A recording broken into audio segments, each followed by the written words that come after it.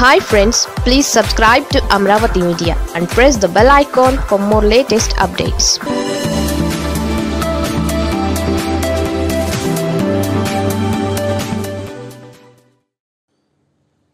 అక్కడికి వెళ్ళాలా? వద్దా?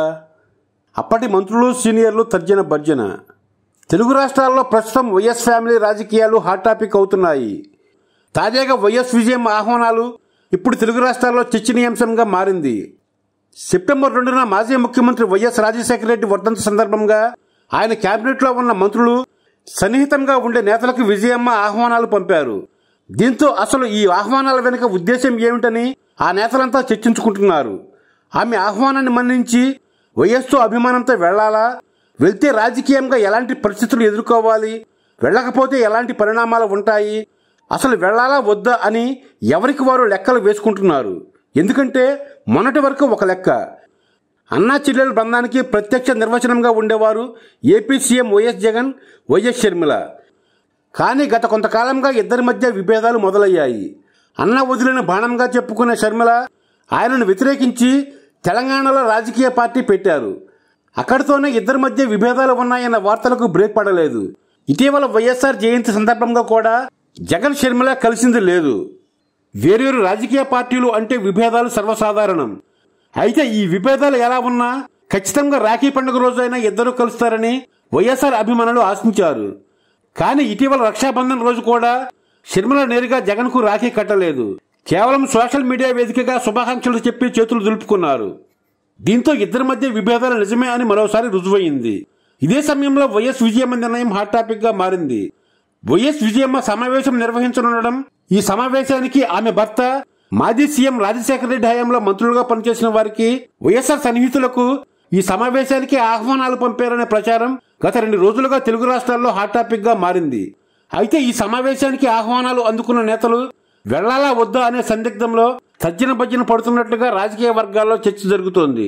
సెప్టెంబర్ రెండున వైఎస్ వర్ధన్ సందర్భంగా విజయమ్మ హైదరాబాద్లో ఈ సమావేశాన్ని నిర్వహిస్తున్నారు.